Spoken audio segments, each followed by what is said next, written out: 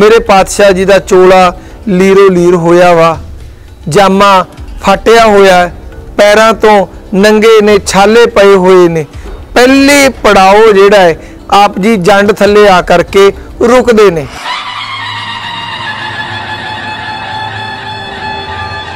ਨੇੜਲੇ ਪਿੰਡ ਦੇ ਜੋ ਮੱਝਾਂ ਚਾਰਦੇ ਸਨ, ਅਲਫੂ ਤੇ ਗਾਮੂ, ਉਹਨਾਂ ਨੇ ਗੁਰੂ ਸਾਹਿਬ ਨੂੰ ਫੜ ਕੇ ਸਰਹੰਦ ਲਿਜਾਣਾ ਚਾਹਿਆ।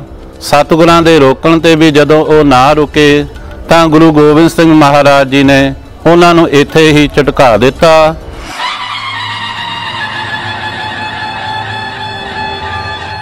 ਗੁਰੂ ਗੋਬਿੰਦ ਸਿੰਘ ਮਹਾਰਾਜ ਜੀ ਤਾੜੀ ਮਾਰ ਕੇ ਨਿਕਲਦੇ ਨੇ।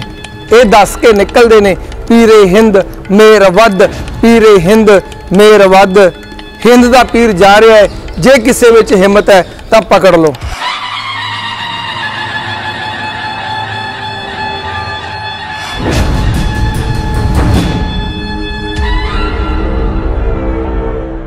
ਅੱਠ ਪੋ ਦੀ ਅੱਧੀ ਰਾਤ ਨੂੰ ਕੱਚੀ ਗੜੀ ਛੱਡ ਕੇ ਗੁਰੂ ਜੀ ਨਿਕਲਦੇ ਨੇ, ਤਾੜੀ ਮਾਰਦੇ ਨੇ ਤੇ ਅੱਗੇ ਆ ਕੇ ਬੀਬੀ ਸ਼ਰਨ ਕੌਰ ਜੀ ਨੂੰ ਥਾਪੜਾ ਦਿੰਦੇ ਨੇ ਤੇ ਬੀਬੀ ਸ਼ਰਨ ਕੌਰ ਜੀ ਸਿੰਘਾਂ ਦਾ ਤੇ ਸਹਿਬਜ਼ਾਦਿਆਂ ਦਾ ਸੰਸਕਾਰ ਕਰਦੇ ਨੇ ਤੇ ਗੁਰੂ ਜੀ ਅੱਗੇ ਕਿੱਥੇ ਜਾਂਦੇ ਨੇ? ਆਓ ਆਪਾਂ ਜਾਣੀਏ ਸਰਦਾਰ ਭਗਵਾਨ ਸਿੰਘ ਖੋਜੀ ਜੀ ਤੋਂ ਅਗਲਾ ਇਤਿਹਾਸ। ਰਾਏਪੁਰ ਤੋਂ 3 ਕਿਲੋਮੀਟਰ ਅੱਗੇ ਚੱਲਦੇ ਆ ਤਾਂ ਗੁਰਦੁਆਰਾ ਸਾਹਿਬ ਆਉਂਦਾ ਜੀ। ਗੁਰਦੁਆਰਾ ਬੀੜ ਗੁਰੂ ਜੰਡ ਸਾਹਿਬ। ਆਪ ਜੀ ਦਰਸ਼ਨ ਕਰ ਰਹੇ ਹੋ ਗੁਰਦੁਆਰਾ ਸਾਹਿਬ ਜੀ ਦੇ।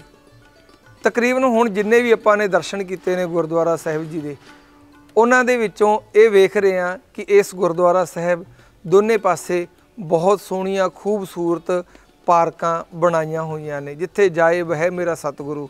ਸੋ ਥਾਨ ਸੁਹਾਵਾ ਰਾਮ ਰਾਜ ਉਸ ਤੋਂ ਬਾਅਦ ਗੁਰਦੁਆਰਾ ਸਾਹਿਬ ਜੀ ਦੇ ਦਰਸ਼ਨ ਕਰਦੇ ਆ।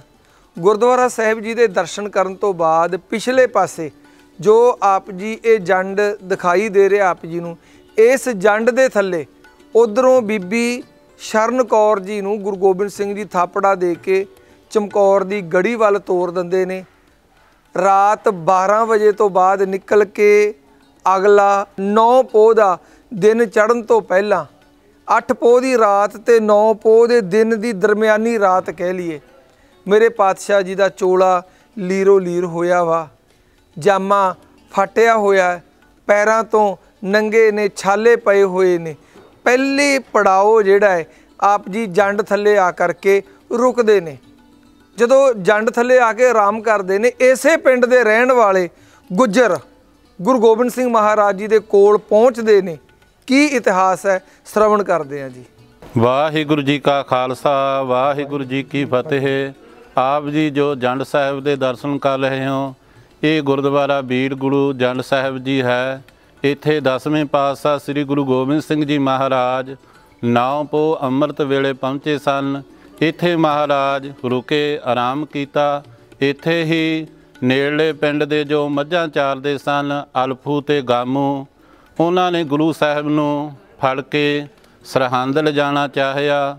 ਸਤਿਗੁਰਾਂ ਦੇ ਰੋਕਣ ਤੇ ਵੀ ਜਦੋਂ ਉਹ ਨਾ ਰੁਕੇ, ਤਾਂ ਗੁਰੂ ਗੋਬਿੰਦ ਸਿੰਘ ਮਹਾਰਾਜ ਜੀ ਨੇ ਉਹਨਾਂ ਨੂੰ ਇੱਥੇ ਹੀ ਝਟਕਾ ਦਿੱਤਾ। ਇੱਥੋਂ ਚੱਲ ਕੇ ਸਤਿਗੁਰੂ ਗੁਰੂ ਗੋਬਿੰਦ ਸਿੰਘ ਜੀ ਮਹਾਰਾਜ ਬਹਿਲੋਲਪੁਰ ਗਏ ਔਰ ਅੱਗੇ ਸਤਿਗੁਰੂ ਮਹਾਰਾਜ ਜੀ ਝਾੜ ਸਾਹਿਬ ਗਏ ਹਨ।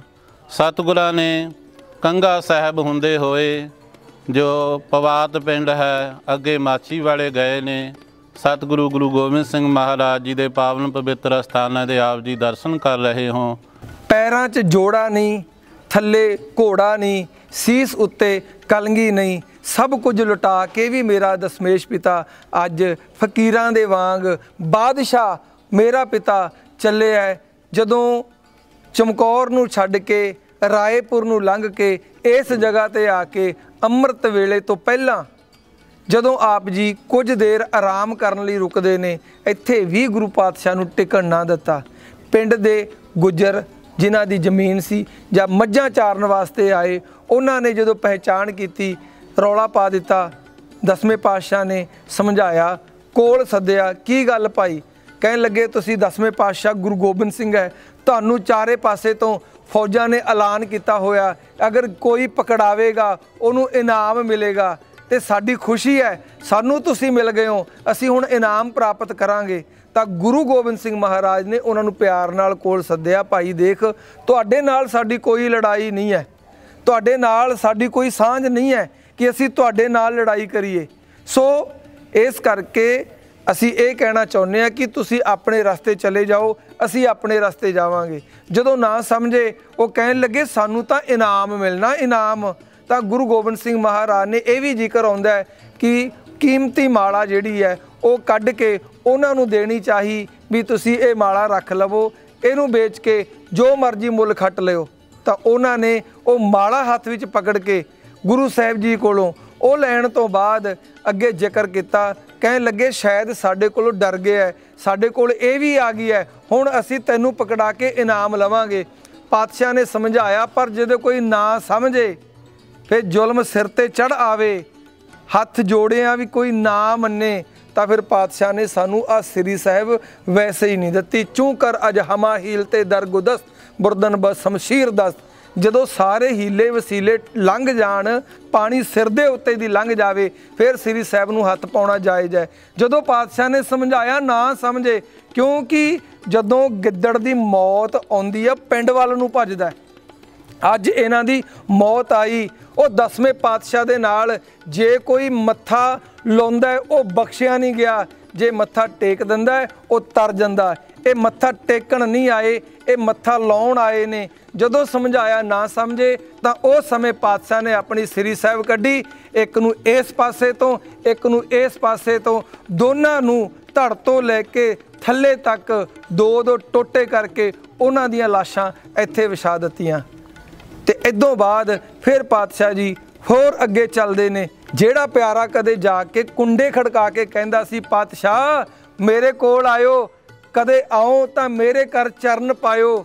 ਜਦੋਂ ਉਸ ਕੋਲ ਜਾਂਦੇ ਨੇ, ਤਾਂ ਉਹ ਅੱਗੋਂ ਕੀ ਕਹਿੰਦਾ, ਕਿਹੜਾ ਪਿੰਡ ਹੈ? ਚੱਲਦੇ ਆ ਜੀ ਉਸ ਪਿੰਡ ਦੀ ਯਾਤਰਾ ਦੇ ਉੱਤੇ।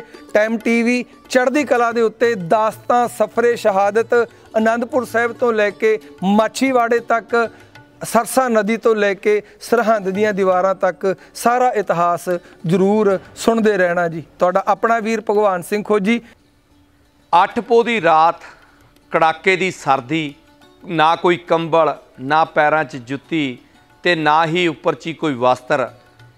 ਚੋਲਾ ਜਿਹੜਾ ਪਾਇਆ ਹੋਇਆ ਉਹ ਫਟ ਚੁੱਕਿਆ ਹੈ ਤੇ ਗੁਰੂ ਜੀ ਕਈ ਪਿੰਡਾਂ ਦੇ ਵਿੱਚ ਹੀ ਹੁੰਦਿਆਂ ਹੋਇਆਂ ਪਹਿਲਾਂ ਉਹ ਜੰਡ ਸਾਹਿਬ, ਫਿਰ ਉਹ ਅਫਗਾਨਾ ਕੀੜੀ, ਫਿਰ ਬਲੋਲਪੁਰ ਤੇ ਉਤੋਂ ਬਾਅਦ ਝਾੜ ਸਾਹਿਬ ਪਹੁੰਚਦੇ ਨੇ ਨੌਪੋ ਨੂੰ।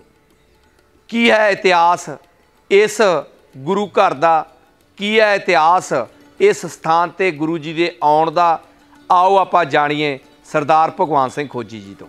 ਜਦੋਂ ਬਹਿਲੋਲਪੁਰ ਦੇ ਨਗੀਨੇ ਖੱਤਰੀ ਨੇ ਦਰਵਾਜ਼ੇ ਨਾ ਖੋਲੇ ਗੁਰੂ ਗੋਬਿੰਦ ਸਿੰਘ ਮਹਾਰਾਜ ਜੀ ਅਗਲੇ ਪੜਾਓ ਵੱਲ ਚੱਲ ਪੰਦੇ ਨੇ। ਬਹਿਲੋਲਪੁਰ ਤੋਂ ਥੋੜੀ ਅੱਗੇ ਆ ਕਰਕੇ ਆਪ ਜੀ ਦਰਸ਼ਨ ਕਰ ਰਹੇ ਹੋ। ਨਹਿਰ ਤੋਂ ਨਾਲ ਲੰਘਦੇ ਵੱਡਾ ਗੇਟ ਹੈ, ਅੱਗੇ ਪਾਰ ਕਰਦਿਆਂ ਗੁਰਦੁਆਰਾ ਸਾਹਿਬ ਆਉਂਦਾ ਹੈ। ਗੁਰਦੁਆਰਾ ਸਾਹਿਬ ਜੀ ਦੇ ਆਪ ਜੀ ਦਰਸ਼ਨ ਕਰ ਰਹੇ ਹੋ। ਪ੍ਰਾਤਨ ਡਿਊੜੀ ਬਣੀ ਹੋਈ ਹੈ, ਉੱਤੇ ਚੁਬਾਰਾ ਪਿਆ ਹੋਇਆ ਹੈ। ਅੱਗੇ ਜਾਂਦਿਆਂ ਹੀ ਗੁਰਦੁਆਰਾ ਸਾਹਿਬ ਹੈ, ਦਰਸ਼ਨ ਕਰਦਿਆਂ ਉੱਪਰ।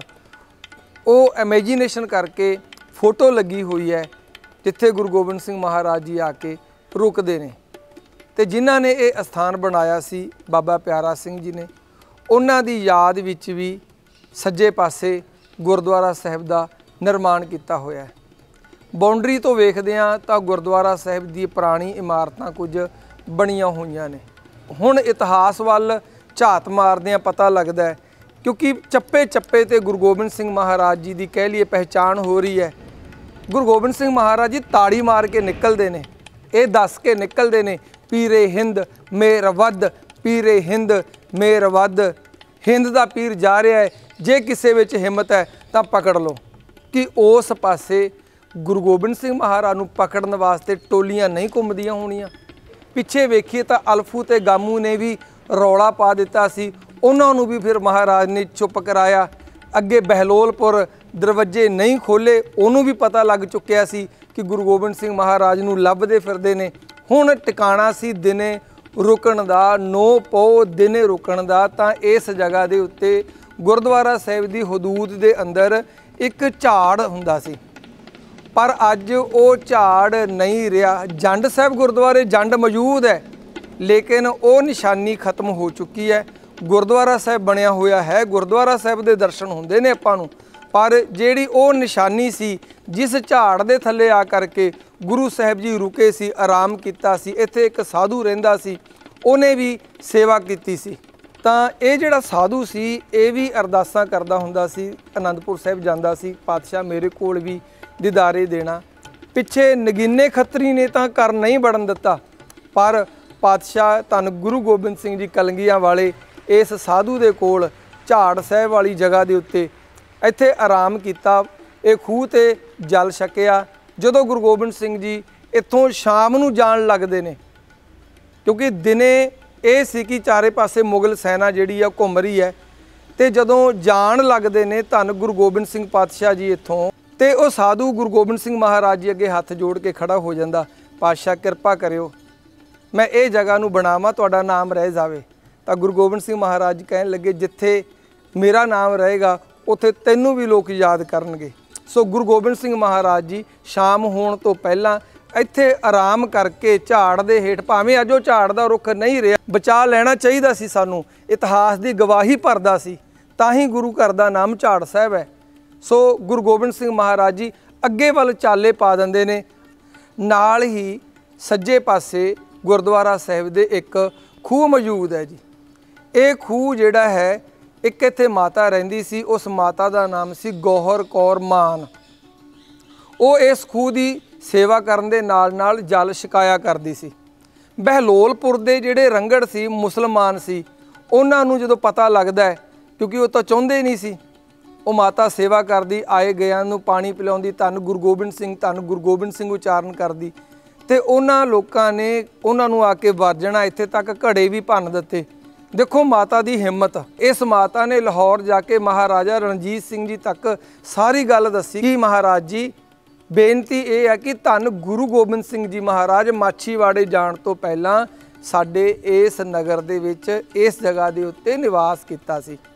ਇੱਥੇ ਪਾਣੀ ਵੀ ਪੀਤਾ ਗੁਰੂ ਗੋਬਿੰਦ ਸਿੰਘ ਮਹਾਰਾਜ ਨੇ, ਆਰਾਮ ਕੀਤਾ ਤੇ ਅੱਜ ਉਹ ਖੂਹ ਤੋਂ ਮੈਂ ਜਲ ਪਿਲਾਉਣ ਦੀ ਸੇਵਾ ਕਰਦੀ ਆ ਜਲ ਸਕਾਉਣ ਦੀ ਸੇਵਾ ਮੈਨੂੰ ਨਹੀਂ ਕਰਨ ਦਿੰਦੇ, ਇੱਥੇ ਤੱਕ ਉਸ ਖੂਹ ਨੂੰ ਮਿੱਟੀ ਦੇ ਨਾਲ ਭਰ ਵੀ ਦਿੱਤਾ ਗਿਆ ਫਿਰ ਮਹਾਰਾਜਾ ਰਣਜੀਤ ਸਿੰਘ ਜੀ ਨੇ ਆਪਣੇ ਨਾਲ ਕੁਝ ਸਿੰਘ ਭੇਜੇ ਆ ਕਰਕੇ ਉਹਨਾਂ ਨੇ ਕਰਾਰੇ ਹੱਥ ਕੀਤੇ, ਮੁੜ ਖੂਹ ਨੂੰ ਚਾਲੂ ਕਰਾਇਆ, ਜੋ ਅੱਜ ਮੁੜ ਖੂਹ ਚੱਲਦਾ ਪਿਆ ਹੈ ਜੀ। ਅੱਜ ਇਸ ਖੂਹ ਦੇ ਵਿੱਚ ਮੋਟਰ ਲੱਗੀ ਹੋਈ ਹੈ, ਜਲ ਛਕ ਸਕਦੇ ਹੋ।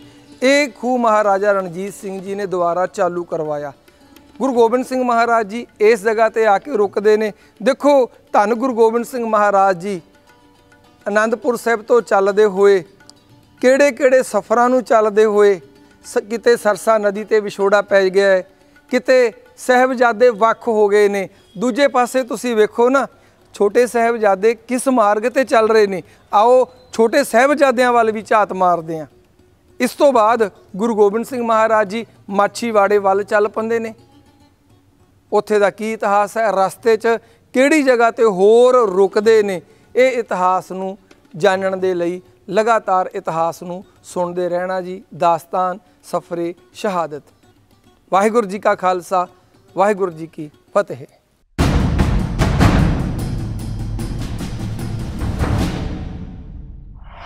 ਗੁਰਬਾਣੀ ਨਿਊਜ਼ 뮤직 ਐਂਟਰਟੇਨਮੈਂਟ ਸ਼ੋ ਜਾਂ ਕਿਸੇ ਤਰ੍ਹਾਂ ਦਾ ਕੋਈ ਵੀ ਕੰਟੈਂਟ ਵੇਖਣ ਦੇ ਲਈ ਪਲੇ ਸਟੋਰ ਤੋਂ ਹੁਣੇ ਡਾਊਨਲੋਡ ਕਰੋ ਚੜ੍ਹਦੀ ਕਲਾ ਮੀਡੀਆ ਨੈਟਵਰਕ ਐਪ।